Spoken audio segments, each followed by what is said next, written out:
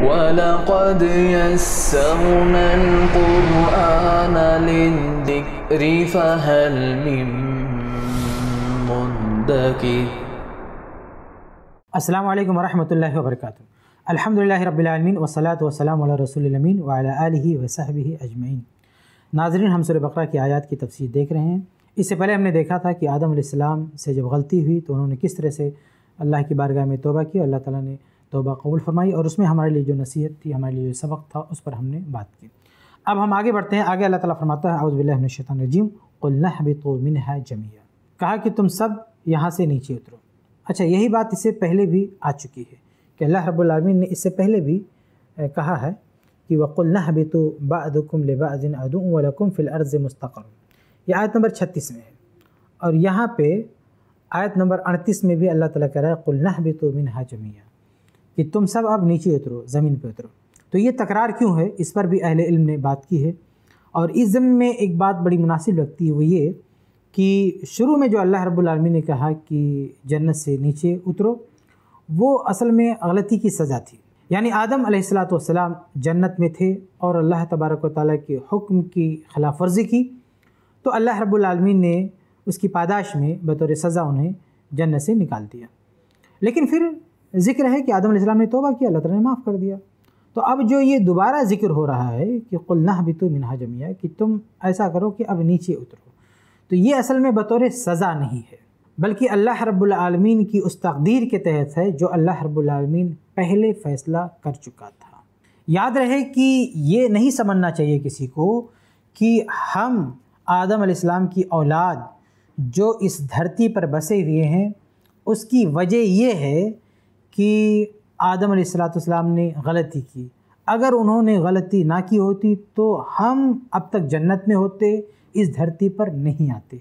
ऐसा किसी को नहीं समझना चाहिए। क्योंकि अल्लाह रब्बुल आलमीन ने जो यहाँ हुक्म दिया कि तुम अब ज़मीन में जाओ, वहाँ पे बसो तो इसी मकसद के तहत ही अल्लाह तबारक व ताली ने आदम अलैहिस्सलाम की पैदाइश की थी।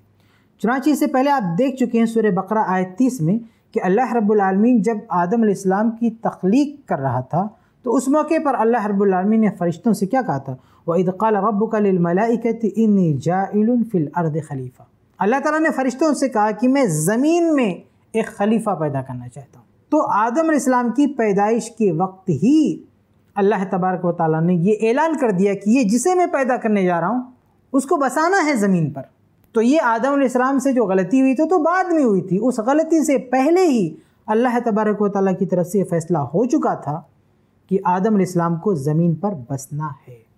इसलिए किसी के जहन में यह नहीं आना चाहिए कि आदम इस्लाम ने गलती की। उसकी सज़ा ये है कि हम भी यहाँ पे ज़मीन पे आ गए। ऐसा नहीं। अल्लाह ताला ने तो पहले ही से फैसला करके रखा था कि आदम अलैहिस्सलाम और उनकी ज़ुर्रियत को इसी ज़मीन पे बसाना है और इसका तस्करा अल्लाह रब्बुल आलमीन फरिश्तों के सामने कर चुका था। इस सिलसिले में एक हदीस भी देखें जो सही बुखारी, सही मुस्लिम, बहुत सारी कुतुब हदीस में मौजूद है। सही बुखारी हदीस नंबर छः हज़ार छः सौ चौदह में हदीस है।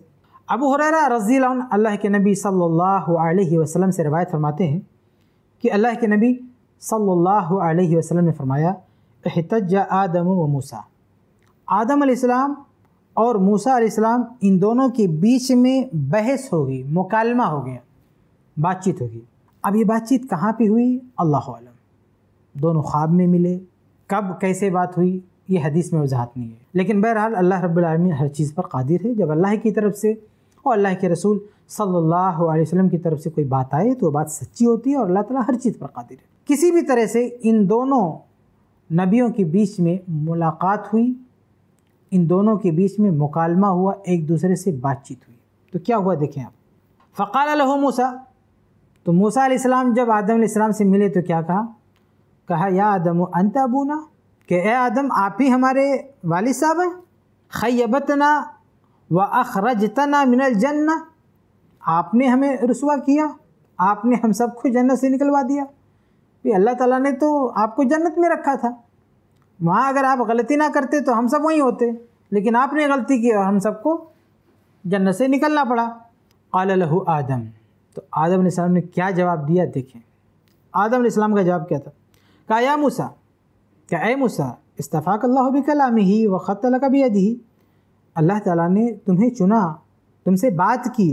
अतलुमुनी अला अमरिन, तुम मेरी मलामत कर रहे हो एक ऐसी बात पर क़द्दर अल्लाह जो अल्लाह ताला ने मेरे हक़ में मुक़द्दर कर रखा था, कबल यखलुक़नी बेअरबईन सना, मेरी पैदाइश से भी चालीस साल पहले।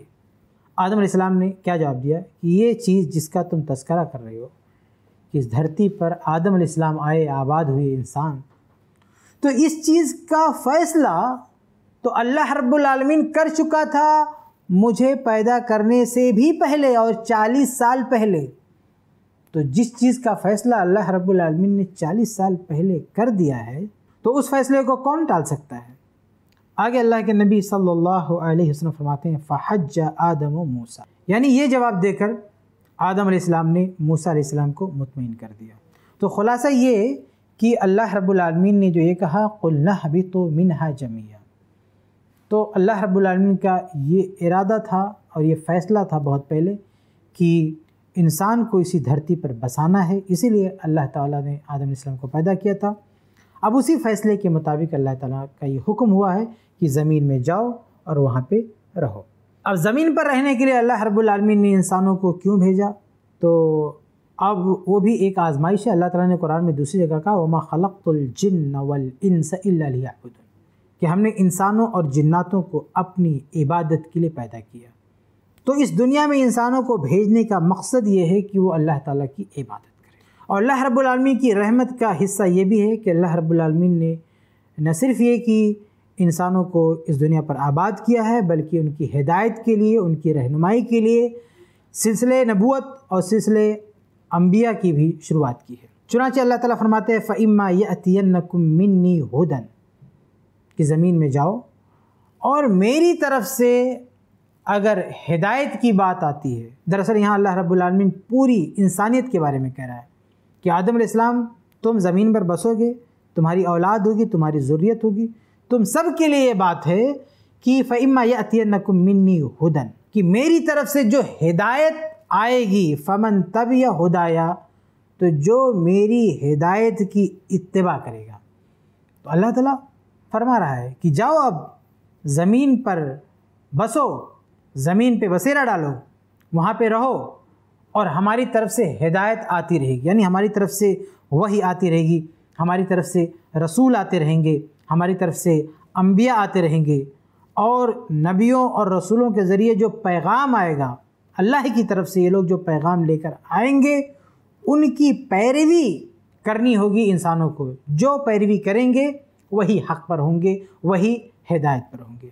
अल्लाह रब्बुल आलमीन ने यहाँ जो उसूली बात कह दी कि ज़मीन पर बसने के बाद हमारी तरफ़ से जो हिदायत आएगी, हमारी तरफ़ से जो पैगाम आएगा, वही तुम्हारे लिए ज़ाब्ते हयात होगा। उसी के मुताबिक तुम्हें ज़िंदगी गुजारनी होगी। इसमें अल्लाह रब्बुल आलमीन की तरफ़ से ये उसूल भी बयान हो गया कि दीन और शरीयत, ये सब अल्लाह की तरफ़ से नाजिल करता है। दीन अल्लाह की तरफ़ से ही हो सकता है। कोई शख्स इस धरती पर रहने वाला ख्वाह वो कितना ही नेक हो, कितना बुज़ुर्ग हो हती कि चाहे वो नबी रस, वो अपनी तरफ़ से दीन नहीं बना सकते। अपनी तरफ़ से शरीयत नहीं बना सकते। बल्कि दीन ये अल्लाह की तरफ़ से नाजिल होता है। इस धरती पर दीन बनता नहीं, अल्लाह की तरफ़ से नाजिल होता है। तो यहाँ पर उन लोगों का भी रद्द होता है जो कहते हैं कि हम दीन में अपनी तरफ़ से नई नई चीज़ें ईजाद कर सकते नहीं। दीन में कोई भी नई चीज़ ईजाद नहीं कर सकते। यहाँ पर अल्लाह ताला ने बयान फरमा दिया कि अब आदम इस्लाम इस दुनिया में बसेंगे, इनकी जितनी नस्लें भी फैलेंगी, इनकी ज़ुर्रियत जो ज़मीन पर फैलेगी, इन सबको पाबंदी करनी होगी अल्लाह रब्बुल की तरफ़ से नाजिल करदा हिदायत की, अल्लाह रब्बुल की तरफ़ से नाजिल करदा पैगाम की। ख़ुद कोई शरीयत इंसान नहीं बना सकता, बल्कि अल्लाह रब्बुल की तरफ़ से जो शरीयत नाजिल हुई, उसी की पैरवी करनी है। और ये मामला सिर्फ़ अल्लाह रब्बुल का है। यानी शरीयत बनाना ये अल्लाह का हक़ है। अल्लाह के अलावा किसी गैर को ये हक़, ये अथॉरिटी है ही नहीं कि वो शरीयत बना सके, वो दीन बना सके। एक दूसरे मकाम पे सुर शोरा आयत नंबर इक्कीस में कहा है, जो लोग अपनी तरफ़ से शरीयत साजी करते हैं, अल्लाह फरमाता है, अम लहुम शरका शराऊ लहुम मिन दीन मालम या अजन बिल्ला कि ये लोग जो अपनी तरफ़ से शरीयत बनाते हैं, क्या अल्लाह के अलावा कोई और शरीक है जो इन्हें ऐसा दीन बना के दे रहा है? मालम या अज़न बिल्ला जिसकी अल्लाह ने इजाज़त नहीं दी है। नहीं अल्लाह ताला यहाँ क्या कह रहा है? कि जो अपनी तरफ़ से शरीयत शाजी करते हैं, गोया कि उन्होंने अल्लाह के मुकाबले में किसी और मबूद को खड़ा कर रखा है। अल्लाह के साथ किसी को शरीक कर रखा है, अल्लाह ताला इसे शिरक से ताबिर कर रहा है। यानी शरीयत बनाने का हक़ सिर्फ़ अल्लाह रब्बुल आलमीन को है। अल्लाह रब्बुल के अलावा कोई शरीयत नहीं बना सकता। तो अल्लाह ताला ने जो कहा, फ़ैमा मिन्नी हुदन, फमन तब या हुदाया। कि मेरी तरफ़ से जो हिदायत आएगी, उसकी जो पैरवी करेगा, उस पर जो ईमान लाएगा, वो हिदायत याब होगा। बहरहाल, यहाँ पे अल्लाह रब्बुल आलमीन की ये ताकीद है कि इस धरती पर आदम सलाम की जो ज़रूरत आबाद होगी, वो इस बात की पाबंद होगी कि अल्लाह रब्बुल आलमीन की तरफ़ से जो हिदायत नाजिल होती है, उसकी इत्तबा करे, उसकी पैरवी करे। यानी यहाँ पे ये इशारा भी है कि अल्लाह रब्बुल आलमीन की तरफ़ से वही और रिसालत लेकर अम्बिया और रसूल आते रहेंगे और उनका मानना इंसानों पर ये लाजिम होगा। अब आगे अल्लाह रब्बुल आलमीन का ये भी बयान हो रहा है कि जो लोग अल्लाह की नाजिल करदा शरीयत पर ईमान लाएँगे, अल्लाह की तरफ़ से नाजिल करदा हिदायत की पैरवी करेंगे तो उनको बदले में क्या मिलेगा? अल्लाह रब्बुल आलमीन को क्या देगा? और जो इनकार करेंगे, कुफ़र करेंगे, उनका अंजाम क्या होगा? तो अल्लाह फरमाता है, फ़मन तब या हुदाया, जो मेरी नाजिल करदा हिदायत और शरीयत की इतबा करेगा, फ़ला खौफ़ुन अलैहिम, उन पर ना तो कोई खौफ होगा, वला हम यहजनून, और ना उन्हें कोई रंज होगा। खौफ और हुज़्न, यहाँ पे दो लफ्ज़ इस्तेमाल हुआ है। और इन दोनों में मानवी तौर पर कुछ अहल इलम ने फ़र्क किया है। खौफ का मतलब ये बताया है कि जो मुस्तबिल से मुतलक हो, उसको कहते हैं खौफ, डर। यानी कल क्या होगा? हमारे साथ ऐसा ना हो जाए, वैसा ना हो जाए। तो ये जो अंदेशे हैं, इसको खौफ कहा जाता है। और हुज़्न कहते हैं कि माजी में कोई हादसा हुआ, कोई तकलीफ़ लाक हुई, कोई मुसीबत लाक हुई तो उसको लेकर जो आदमी परेशानी में मुबतला होता है, उसको हुज़्न कहते हैं। माजी में किसी मुसीबत को लेकर, किसी मामले को लेकर परेशान होना, ये हुज़्न है। और मुस्तकबिल में किसी अंदेशों को लेकर घबराना, ये खौफ है। तो अल्लाह रब्बुल आलमीन फरमाता है कि जो मेरी हिदायत की पैरवी करेंगे तो माजी और मुस्तकबिल किसी भी एतबार से वो परेशान नहीं होंगे। उन्हें ना कोई हुज्न होगा, ना कोई खौफ होगा। और यहाँ पर एक और बात मैं आपके सामने वाजे कर दूँ कि ये जो अल्लाह ताला का इनाम है ये जो अल्लाह रब्बुल की तरफ़ से बशारत है, फ़ला खौफ़ अलैहिम वला हम यहज़नून। कि जो लोग अल्लाह की नाजिल करदा हिदायत की पैरवी करेंगे, उन्हें ना कोई खौफ लाइक होगा, ना कोई रंज लाइक होगा। तो ये जो अल्लाह रब्बुल आलमीन का इनाम है, कुछ लोग ये दिखाने की कोशिश करते हैं कि ये इनाम सिर्फ़ जो अल्लाह के बड़े बड़े अलिया हैं, उनको मिल सकता है। क्योंकि अल्लाह रब्बुल आलमीन ने दूसरी जगह कुरान में अपने अलिया के बारे में ये कहा है कि अल्लाह के अलिया ऐसे होते हैं कि उनको ना कोई खौफ होता है, ना कोई गम होता है। तो उस आयत की बुनियाद पर कुछ लोगों के जहन में ये बात रहती है, बल्कि कुछ लोग ये कहते रहते हैं कि ये अलिया का मकाम होता है। तो उनकी बातों से ऐसा लगता है कि ये मकाम जो ख़ास अलिया है, उनके अलावा किसी और को हासिल नहीं होता। जबकि ऐसी बात नहीं है यहाँ पर देखिए, यहाँ ख़ास अलिया का ज़िक्र नहीं है, बल्कि अल्लाह रब्बुल पूरी इंसानियत के लिए बात कह रहा है कि पूरी इंसानियत में से कोई भी शख्स अल्लाह की हिदायत पर ईमान लाएगा, पैरवी करेगा, अल्लाह के नबियों को मानेगा तो उसे ना कोई खौफ होगा ना कोई गम होगा और अल्लाह रब्बुल आलमीन ने कुरान मजीद में और भी बहुत सारे मकाम पर बल्कि सुर बकरा ही में कई जगह अल्लाह के नेक बंदों के लिए अल्लाह की तरफ से इस इनाम का जिक्र किया है फ़ला खौफ़ुम याजन मसल सुर बकरा आयत नंबर दो सौ बासठ में अल्लाह फरमाता है अल्लादीन फ़िक़न फ़ी सबी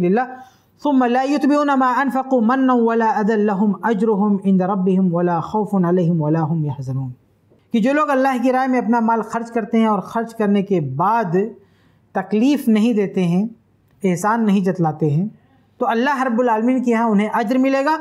वला खौफ़ अलैहिम वला हम यहज़नून। उन्हें ना कोई खौफ होगा, ना रंज होगा। तो देखिए, यहाँ पे भी अल्लाह रब्बुल आलमीन ने इसी इनाम इकराम का वादा किया है उन लोगों से जो अल्लाह की राय में एहसान के साथ माल खर्च करते हैं। बल्कि यही बात अल्लाह रब्बुल आलमीन ने सूर्य बकरा आयत नंबर दो सौ चौहत्तर में भी कही है। अल्लादीन फ़िकुन अमवालहम बिल्लहर सिर वलानिया फ़लहम अजरहम इन रबिम वला खौफ़ अलहम कि जो लोग अपना माल खर्च करते हैं रात में, दिन में, खुफिया तौर पर अलानिया तौर पर, उनके लिए अजर है, उनके रब के पास, वला खौफन अलैहिम वला हम यहजनून ना उन्हें कोई खौफ होगा ना उन्हें कोई रंज होगा इसी तरह सुर बकरा, आयत नंबर 277 में अल्लाह ताला ने ईमान और अमल सालह करने वाले और नमाज़ अदा करने वाले, ज़क़़त देने वालों के लिए भी इसी मकाम का वादा किया है, इसी अजर का वादा किया है।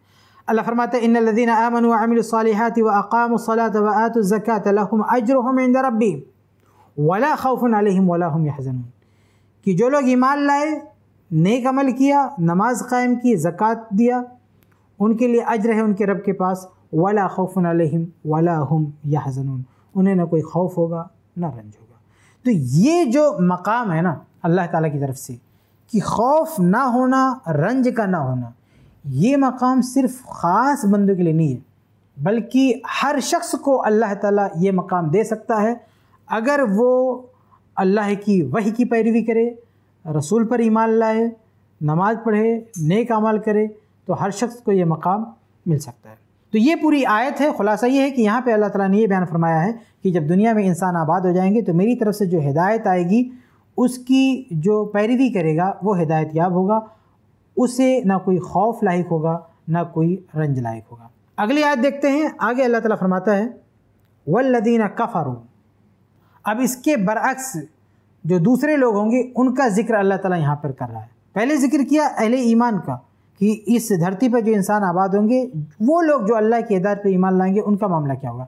अब यहाँ, वल्लदीन कफ़रू, जो लोग कुफ्र करेंगे, वल्लदीन कफ़रू, जो लोग कुफ्र करेंगे, यानी अल्लाह रब्बुल की तरफ़ से नाजिल करदा शरीयत का इनकार करेंगे, और इस दुनिया में जीने के लिए, इस धरती पर बसने के लिए किसी जबते के पाबंद नहीं होंगे यानी अल्लाह की तरफ़ से नाजिल करदा किसी जबते, किसी दीन के पाबंद नहीं होंगे। उनका मामला क्या होगा? तो उनको अल्लाह ताला काफिर कह रहा है, वल्लदीन कफरू जो कुफ्र करेंगे। अब यहाँ पर मैं आपके सामने वाजे कर दूँ कि कुफ्र क्या चीज़ है। देखिए, अल्लाह रब्बुल आलमीन ने कुरान में जगह जगह दो लफ्ज़ बहुत इस्तेमाल किया है, एक कुफ्र और शिरक। और यह बात अच्छी तरह से समझ लेनी चाहिए कि अक्सर कुफ्र और शिरक जो कुरान में इस्तेमाल होता है, वो दोनों एक दूसरे के मुतरदफ इस्तेमाल होता है। लेकिन ये फ़र्क लगवी एतबार से है। शरी एतबार से भी कहीं इस फ़र्क की रियायत हो सकती है। लेकिन आम तौर से कुरान में कहीं भी जो कुफ्र इस्तेमाल होता है, उसमें शिरक भी शामिल है और जो लफ्ज़ शिरक इस्तेमाल होता है, उसमें कुफ्र भी शामिल है। इसलिए किसी को यह गलत फहमी नहीं होनी चाहिए कि कोई आयत हो या कोई हदीस हो, उसमें लफ्ज़ शिरक हो तो आदमी ये समझे कि ये काफिरों के लिए नहीं है। या किसी आयत में या किसी हदीस में लफ्ज़ कुफ्र हो तो आदमी ये समझ ले कि ये मुशरकों के लिए नहीं है।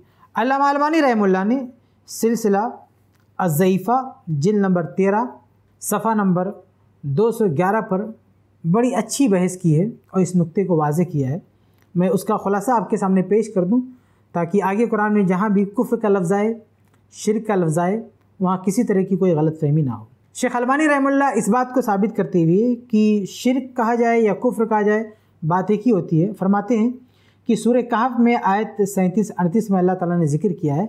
दो लोगों का, दो दोस्त थे, दो साथी थे, उनमें से एक काफिर था, एक मुसलमान था। दोनों का ज़िक्र किया है अल्लाह ताला ने सूर्य कहफ में। लेकिन अल्लाह ताला ने दोनों को किस अंदाज से ज़िक्र किया? दोनों की गुफ्तु को किस अंदाज से ज़िक्र किया? वो देखें। अल्लाह फरमाता है, कल लहू साहिब हु वह युहाविर हु अकफ़र तबिल्लदी खलक का मिन तराब? जो मोमिन दोस्त था, अपने काफिर दोस्त से क्या कह रहा है? कह रहा है कि अकफ़र तबिल्लदी खलक का तूने कुफ्र किया उस ज़ात के साथ जिसने तुझको मिट्टी से पैदा किया। और आगे जो इसके बाद वाली आयत है, उसमें यही शख्स कहता है लेकिन ना हो रब्बी। लेकिन ये अल्लाह मेरा रब है। वला उशरको बे रब्बी अहदा। मैं अपने रब के साथ किसी को शरीक नहीं करूँगा। तो ये आयत पेश करके शेख अलबानी रमला फरमाते हैं फ़तअमल कैफ वसफ़ा साहिबुल काफिर बिलकुफ्र कि यहाँ गौर करें कि इस मोमिन ने अपने काफिर साथी को कैसे कुफ्र से मुतसिफ किया? सुमा नजह नफ्समिन हो मब्बर अनहु बेमुरादफ़ी व शिरक। फिर अपने आप को उससे बरी करार दिया, अपने आप को उससे मुनज़ करार दिया। ये ताबीर इस्तेमाल करते हुए कि वला उशरक बे रबी अहदा। उसको शिरक से ताबीर किया है। तो देखें, अपने साथी को मुखातब किया तो लफ्ज़ कुफ्र इस्तेमाल किया। और अपने बारे में कहा कि मैं ये काम नहीं कर सकता तो वहाँ पे शिर का लफ्ज़ इस्तेमाल किया। बल्कि ये काफिर शख्स, जिसको मोमिन ने कहा कि तूने कुफ्र किया, इसके अल्फाज भी अल्लाह ताला ने नकल किया। सूर्य काफ आयत नंबर बयालीस में शेख अलबानी रहमुल्ला ने उसको नकल किया और उसमें है व यकुल या तनी लम उशरक बे रबी अहदा। कि क़्यामत के दिन जब इसका हाल होगा तो ये कहेगा कि, काश मैंने अपने रब के साथ किसी को शरीक न किया होता। तो शेख अलबानी रमला फरमाते हैं कि यह आयात में देखें, कुफ्र और शिरक एक ही माने में इस्तेमाल हुआ। है ऐसे शेख अलबानी रमला ने बहुत सारी अहादीस भी यहाँ पर पेश फरमाई हैं। मिसाल के तौर पर एक हदीस है बुखारी मुस्लिम की आखरजुलमशरकिन अमीन जजीरत अरब। जजीर अरब से मशरकिन को निकाल दो। तो शेख अलबानी रमला फरमाते हैं, क्या इन मशरकिन में कुफ़ार शामिल नहीं है? ऐसे शेख अलबानी रहमल्ला ने अल्लामा इब्ने हज़म रहमुल्ला का कौल नकल किया है कि उन्होंने भी बहुत लंबी बहस करके ये साबित किया है कि कुफ्र और शिरक एक ही माने में है, दोनों में फ़र्क नहीं करना चाहिए। एक हदीस इब्ने हज़म रहमुल्ला ने पेश की है, जिसमें है, इज्तनबू असब अलमुबिक़ात, कि सात बड़े बड़े गुनाहों से बचो और उसमें ज़िक्र है अशिरक बिल्ला अल्लाह के साथ शिरक करना। अब अगर कोई कहता है कि शिरक अलग है, कुफ्र अलग है तो इसका मतलब ये है कि ये जो सब मुबक़ात हैं, इसमें कुफ्र का शुमार ही नहीं है। तो इस तरह से बहुत सारे दलाइल दिए हैं शेख अलमानी रहमुल्ला ने और इमाम इबन हज़म रहमुल्ला ने।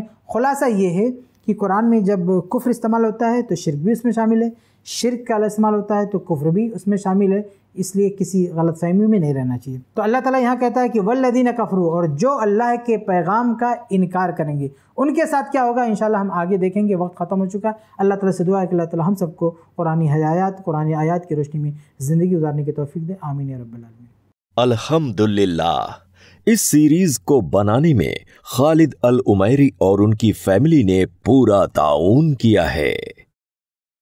ऐसे ही और वीडियोस बनाने में हमारी मदद करें।